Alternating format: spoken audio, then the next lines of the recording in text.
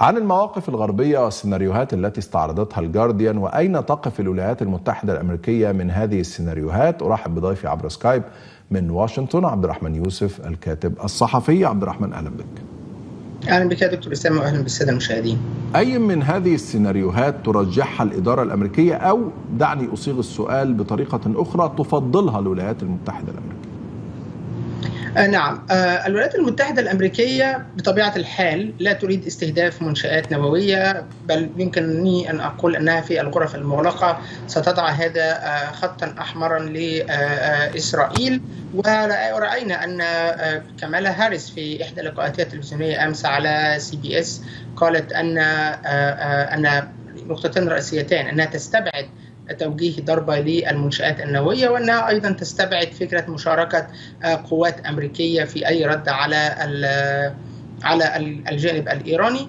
لكن الذي يناقش الذي هو موافق عليه هذا ما هو مستبعد. الذي هو مؤكد أن الولايات المتحدة الأمريكية ستساعد إسرائيل من حيث العمل الاستخباراتي أو الدعم الدولي أو ما إلى ذلك لتوجيه ضربة ما إلى الجانب الإيراني. لكن الذي يناقش والذي هو يعني يتم قياس أثر رد الفعل فيه سواء على الدول الخليجية الحليفة مع الولايات المتحدة الأمريكية أو حتى على التجارة العالمية أو أسعار الطاقة هو استهداف المنشآت النفطية الإيرانية. الإدارة الأمريكية تعلم أن هذه ضربة ستكون مؤلمة وبعيدة عن المدنيين وأيضا بعيدة عن المدنيين بصورة كثيفة المنشآت النووية فيها مدنيين لكن بتكلم عن المس... ال... ال... ال... الأعداد الكبيرة أو الكثافة السكانية الكبيرة.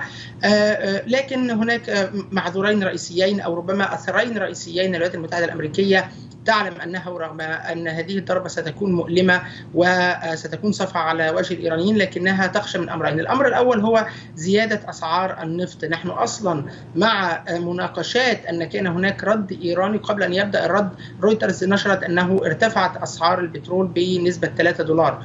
الأمر الآخر في هذا الشأن أن الولايات المتحدة الأمريكية مقبلة على انتخابات واسعار النفط هو من أو أسعار البنزين أو أسعار مشتقات الطاقة وخاصة البنزين هي نقطة جوهرية ومفصلية في شهر أكتوبر قبل أي انتخابات رئاسية أو حتى انتخابات نصفية ودائما ما يقاس أثر الاقتصادي لأي خطة اقتصادية أو أي إدارة أمريكية من خلال جزء منها رئيسي من خلال أسعار الغاز أو أسعار البوتاجاز أو أسعار البنزين يعني المشتقات الطاقة الرئيسية في منزل وسيارة المواطن الأمريكي.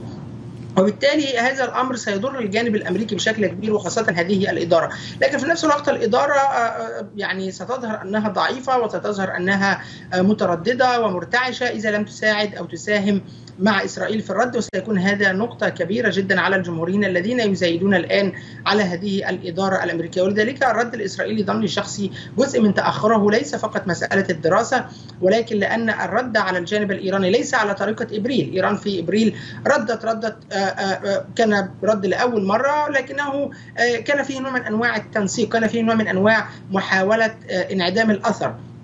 أو مجرد رسالة سياسية بطريقة عسكرية، لكن هذا الرد رغم أنه يعني استثنى الأمريكيين ولم يستهدف الأمريكيين ولا القواعد الأمريكية ولم يستهدف المدنيين لكنه كان ردا قويا على المستوى العسكري، وبالتالي هنا الولايات المتحدة الأمريكية تحاول أن تقنع وهذه السردية أو النارتيف أو الطريقة التي يتم مناقشة بها الأمر في القنوات الديمقراطية أو القنوات التقدمية، هو الجزء الخاص بأن إسرائيل لم تتضرر من الجانب المدني وبالتالي علينا أن نستبعد الجانب المدني في الجانب الآخر.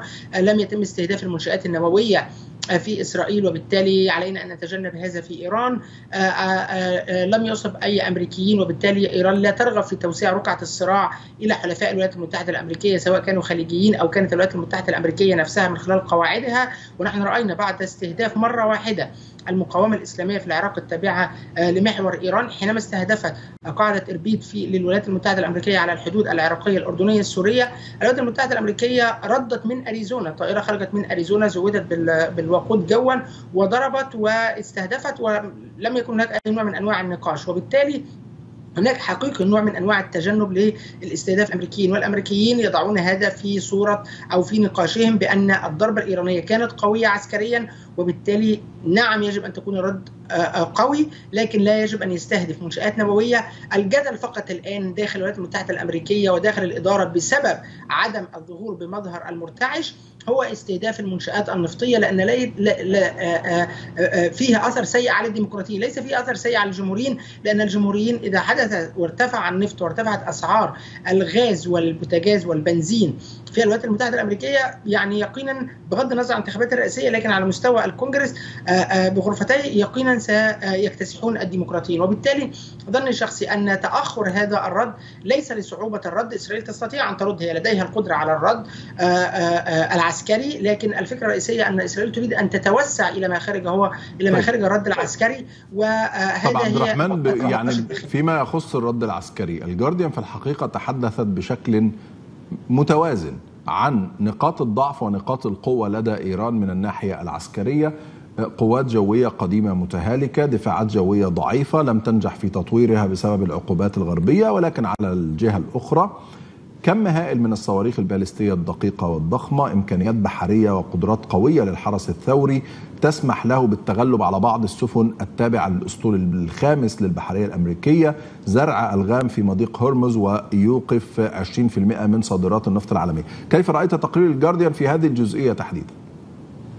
يعني هذا تقرير بطبيعة الحال يناقش المسائل المادية المباشرة لكن هناك الأثر السياسي يعني زعماء الخليج يعني الذي الذين اشرت حضرتك إليهم أرسلوا أيضا رسائل إلى إيران بأنهم غير منخرطين ولم نسمع لتصدي الصواريخ الإيرانية إلا من الجانب الأردني بحكم أنها على الحدود ومنطقة ملتهبة والأردن تبرر موقفها بأنها لا تريد أن تكون شريكا ولا يستخدم لا تستخدم أجوائها في أي في أي يعني مشاكل عسكرية ولكن هذا سيكون تحدي لها إذا ما قررت إسرائيل أن تستخدمها في اتجاه إيران. هل ستقوم بنفس السلوك أم لا؟ وبالتالي الأردن في موقع حرج إذا إذا أرادت إسرائيل أن ترد من خلال صواريخ أو ما إلى ذلك. لكن على مستوى القطع البحرية وما إلى ذلك أعتقد أن ليس مهما مع الجانب الأمريكي، إيران والولايات المتحدة الأمريكية بينهم اتفاق غير مكتوب حتى الآن بعدم الدخول في مواجهة مباشرة بينهما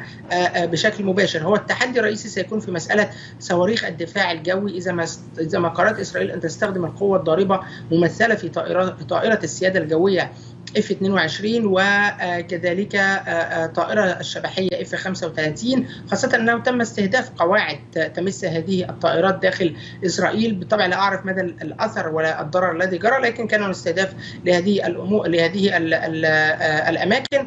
وبالتالي ظني الشخصي أن إسرائيل إذا قامت باستخدام الطائرات الشبحيه وطائرات السياده الجوية سيمثل هذا تحديا للجانب الإيراني لكن إيران تراهن على الرد المؤلم الذي سيكون ترى أنه سيكون من حقها وكذلك تراهن على فكرة مسألة النفط لأن مسألة النفط بالنسبة لهذه الإدارة حقيقية ونحن رأينا أن في في بداية حكم بايدن حتى يرسخ صورته استخدم ملايين البراميل من الاحتياط الاستراتيجي للولايات المتحدة الأمريكية في النفط من أجل إنزال أو يعني تخفيض أسعار البنزين وبالتالي هذا يوضح لك كيف أن هذه نقطة على المستوى الداخلي هامة جدا. وبالتالي يعني اذا ارادت إسرائيل أن تستهدف تستهدف منشآت عسكرية بصفة عامة. أعتقد أنها ستستطيع حتى لو حاولت إيران أن تستخدم طيب. صواريخ دفاع جوي لكن عبد الرحمن التحدي الرئيسي عفوا لما تم اغتيال حسن نصر الله وتأخر الرد الإيراني ساعات ثم 24 ساعة ثم 48 ساعة بدأ الكثيرون يشيروا إلى أن إيران لديها اتفاق بخيار الصمت الاستراتيجي والصبر الاستراتيجي وأنها ستصبر حتى تقصف إسرائيل المنشآت النووية الإيرانية وسينتهي الأمر ثم فاجأت إيران الجميع بما فعلت منذ يومين. الآن إسرائيل لم ترد على إيران. من رأيك سبب ذلك ضغوط أمريكية مفاوضات عربية أو طلبات عربية من بعض الدول القريبة من إسرائيل بعدم الرد أم الخسارة الميدانية في جنوب لبنان والتي كانت مفاجئة للاحتلال؟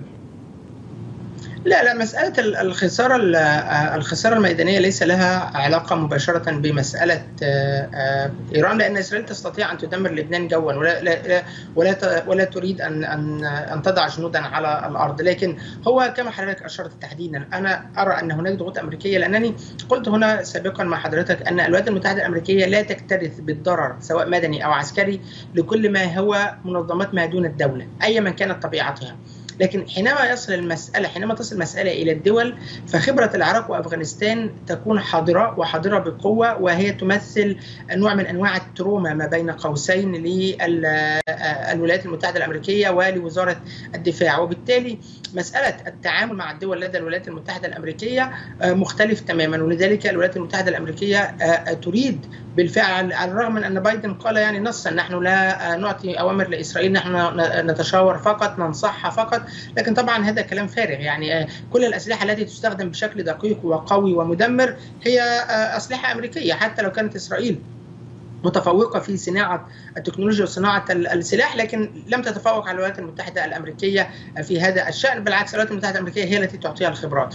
وبالتالي هذا الأمر الأول. الأمر الآخر هو أن إذا اشتعلت حرب ستكون هناك دول في في المنتصف. كيف تتعامل مع الأجواء هنا في هذه الحالة؟ كيف تتعامل مع القطع البحرية والقطع العسكرية؟ يجب أن تأخذ موقف. هذا سيضعها أمام شعوبها في مأزق كبير جدا. وكان هو وكانت هذه أحد ال ال ال الأفكار الاستراتيجية للسنوار حينما قال أنه سيخلط الأوراق في المنطقة لأن المسألة لم تعد مقتصرة على تلك البقعة التي يمكن للعرب أن زعماء العرب أن يدعوا الحياد ويدعوا النأي بالنفس ويدعوا الرغبة في إحلال السلام وما إلى ذلك. ستكون أراضيهم هي ساحات عابرة لهذه الحرب بين طرفين جغرافيا طرفين. وبالتالي التنسيقات أو النقاشات العربية الأمريكية مع الجانب الإسرائيلي حاضرة في مسألة الرد إسرائيل سترد لكن مسألة التأخر في الرد لأن هذا سيكون رد على دولة ورد ليس على مستوى إبريل. على مستوى إبريل كان الجميع متوافق عليه وحصل حصل وانتهى والجميع كان مرتاحا والجميع كان ينسق مع الولايات المتحدة الأمريكية. الولايات المتحدة الأمريكية كانت تعلم بموعد الضربة الإيرانية. لكن هذه المرة إيران تصرفت بالمناسبة لم تتصرف بنوع من أنواع الاندفاع. هي تصرفت بحكمة عسكرية كبيرة جدا على مستوى الاستهداف. استهداف قوي عسكري غير مسبوق لكنه أيضا كان فيه نوع من أنواع الرغبة في عدم التصعيد ومع الولايات المتحدة الأمريكية أو مع الدول العربية أو إشعال الحرب في المنطقة. لذلك رأينا اتهامات لها بأن الضربة كانت تمثيلية لم تكن تمثيلية نهائيا لكنها كانت عسكرية فيها قدر عال من الحكمة وضبط التصرفات. لكن إذا إسرائيل ردت بطريقة أوسع تتجاوز المؤسسات العسكرية وصلت لمنشآت نفطية أو تجمعات مدنية كثيفة أنا ظن شخصي أننا يعني سنرى اشتعال للحرب الإقليمية بأمر غير مؤكد لأن في هذه الحالة لن تكترث إيران بالولايات المتحدة الأمريكية. لن تستهدف ولن تستهدف قواعدها لكنها ستستخدم قوتها القوية والضاربة وستستهدف أيضا البنية التحتية لإسرائيل. لذلك مناقشة استهداف البنية التحتية والجانب النووي غير مرغوب فيه من الجانب الأمريكي. النقاش هو حول قوة الضربة للمؤسسات العسكرية المنشآت العسكرية والنقطة الأهم والأكثر خطورة بالنسبة للولايات المتحدة الأمريكية في المناقشات الآن مدى فاعلية استهداف المنشآت النفطية قبل الانتخابات. طيب السؤال هنا عن هذا القرار أو بيان البيت الأبيض. أن بايدن انضم لمكالمة مع زعماء مجموعة السبع وهناك فرض عقوبات جديدة على إيران لتقويض قدرتها على الحصول على الأسلحة أو إنتاجها أو نقلها لدعم الأنشطة الإقليمية المزعزعة للاستقرار ما هي قيمة هذا القرار؟ لا هو لا لديه قيمة رئيسية. هذا هو الملعب المفضل للولايات المتحدة الأمريكية، الولايات المتحدة الأمريكية تفضل العقوبات الذكية وتفضل هندسة الأوضاع الاجتماعية. يعني حتى هنا داخل الولايات المتحدة الأمريكية لا أحد يدخل السجن بسبب دين مادي، لكن حياتك تدمر لأن ال social security number أو رقم الضمان الاجتماعي الخاص بك سيظهر أنك غير جدير بثقة وسيتم محاصرتك وستدمر حياتك دون الحاجة إلى الذهاب إلى السجن. هذا هو المنطق في التعامل مع الهندسة الاجتماعية والعقوبات الذكية والعقوبات التي ليس فيها دم كبير لكن ربما تحمل دمارا كبيرا. هذا منطق مهم لدى الولايات المتحدة الأمريكية وابتدت أن تطوره ويسمي الخبراء هذا يعني القيادة من المقعد الخلفي أو توجيه مسار الأحداث دون أن تكون مضطرا لفرض مسارات محددة طالما أنك ستصل في نهاية الأمر إلى الوجهة التي تريدها. وبالتالي الولايات المتحدة الأمريكية يعني هي تريد أن تعاقب إيران وتحاصرها وتحاصر من يعتبر حلفائها وتضعف من قواتها العسكرية وتضعف خطوط الإمداد لماذا؟ لأنها تعلم أننا بعد الانتخابات خاصة وهنا أتحدث عن ال establishment أتحدث عن العقل الجمعي لل establishment ورجال الصناعة العسكرية في الولايات المتحدة الأمريكية الذين يتخذون تلك القرارات الكبرى في الغرف المغلقة ثم بعد كده بعد ذلك يتم هندستها على مستوى مؤسسات الإعلام وبعض المؤسسات التشريعية. هم يعلمون جيدا وهم لديهم رؤية واضحة بأن إيران في نهاية الأمر كما أشار تقرير الجارديان لديها ثغرات عسكرية كبيرة جدا لكن لديها أشياء يمكن أن تؤلم على المستوى المواجهة المباشرة. وبالتالي مسألة الإضعاف ومسألة التدمير خطوة بخطوة وليس كتلة واحدة كما تصرف أغبياء اليمين الإسرائيلي هو الطريقة الأمثل من أجل أن يتم تفكيك كيان مثل إيران أو إضعافه بحيث إذا ما جرت المواجهة التي يراها الجميع ستكون محتومة إذا لم يكن بعد الانتخابات فبعد سنة. تكون إيران في أوهن حالاتها وليس لديها أي نوع من أنواع القوة للرد أو الإيلام. لكن طبعا إسرائيل تتصرف بمنطق أحين اليوم وأمتني غدا أو يعني موتني أحين النهاردة موتني بكرة. وهذه فرصة تاريخية فلندمر فلنقتل فلنفعل وما إلى ذلك. والشارع الإسرائيلي يعني محتشد خلف خلف المسألة لكن الولايات المتحدة الأمريكية لا تدير أمورها بهذا الغباء خاصة أنها لها تجربة سيئة في العراق وأفغانستان وغيرت بالفعل من استراتيجيتها على المستوى العملي وهذا هو يعني موضع الاختلاف في إدارة المعارك ما بين الولايات المتحدة الأمريكية وإسرائيل رغم الاتفاق طيب. على الأهداف الاستراتيجية الكبرى. سؤالي الأخير عبد الرحمن واعتبره سؤال في برنامج ساخر لأنه لا يمكن إن أنا أسأله بجد أو أنت تجاوب عليه بجد الحقيقة وهو اجتماع الجامعة العربية. في اجتماع طارئ للجامعة العربية. تعليقك. يما أنا خفت. يعني يعني أنا ظني الشخصي لا هو يعني يمكن أرد عليه جديا بالمناسبة. آه الجامعة العربية الآن تتحسس رأسها. لماذا؟ لأن حليفتها تريد أن تستخدم أراضيها في ظل هذا الحشد الشعبي. ولاحظ أننا في ذكرى آه يعني أنا عندي شعار أريد أن أكتبه آه هو آه يعني العيد عيدين الحد والاثنين هذا هذا شعار شعار معظم الشعوب العربية.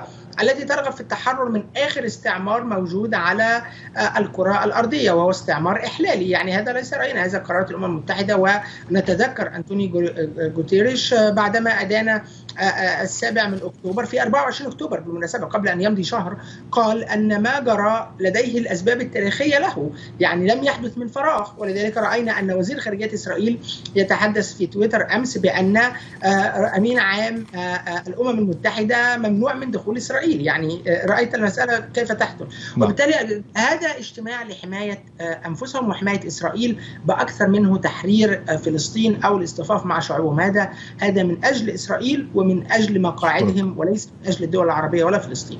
شكرا جزيلا لك عبد الرحمن يوسف الكاتب الصحفي. كنت ضيفي عبر سكايب.